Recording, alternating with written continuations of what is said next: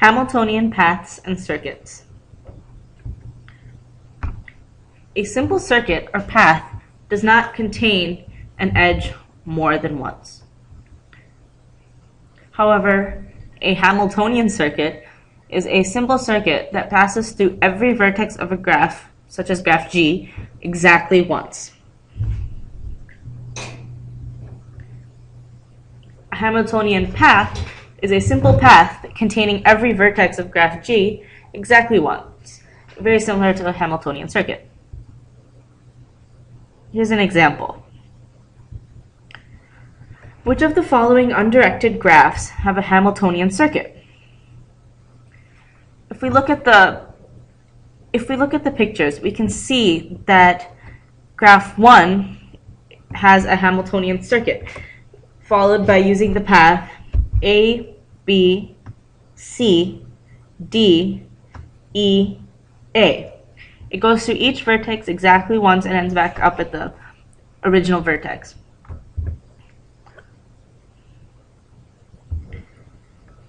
Which of the same undirected graphs has a Hamiltonian path?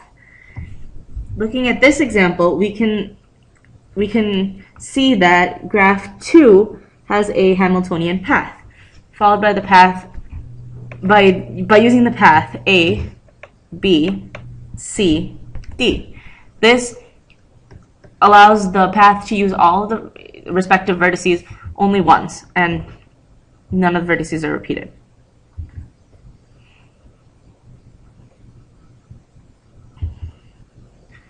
A graph is described as having no Hamiltonian circuit when in a graph having a vertex of degree when in a graph having a vertex of degree 1, all of the edges of vertices of degree 2 must be in the circuit. Here is an example to illustrate that. We need to find a Hamiltonian circuit for the graph shown in this picture.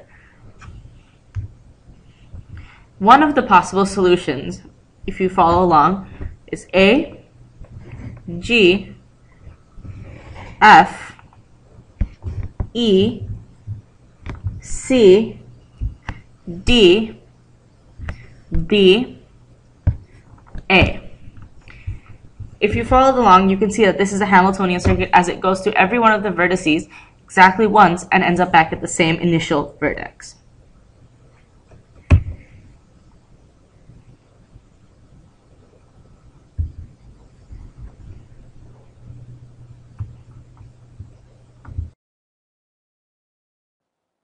Ore's theorem. Ore's theorem gives a sufficient condition for a graph to be Hamiltonian, essentially stating that a graph with sufficiently many edges must contain a Hamilton cycle. Let G be a finite and simple graph with n is greater than or equal to 3 vertices. We denote by DEGV the degree of a vertex V in G, which is simply the number of adjacent edges connected to vertex V. Ore's theorem states that if DEGV plus DEGW is greater than or equal to n, for every pair of non-adjacent vertices v and w of G, then the graph G is Hamiltonian. Proof of Ore's theorem. Suppose it were possible to construct a graph that fulfills the condition DEGV plus DEGW is greater than or equal to n for every pair of non-adjacent vertices, v and w of G and is not Hamiltonian. According to this supposition, let G be a graph on n is greater than or equal to 3 vertices that satisfies the condition in 1, is not Hamiltonian, and has the maximum number has the maximum possible number of edges among all n vertex non-Hamiltonian graphs that satisfy the property in 1. An example of this is the graph G will have a maximum number of edges.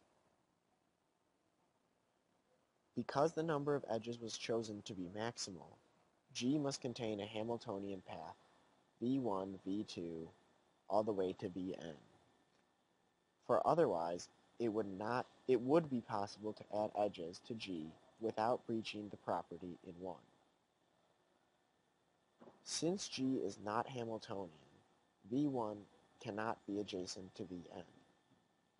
For otherwise, V1, V2, all the way to Vn would be a Hamiltonian cycle.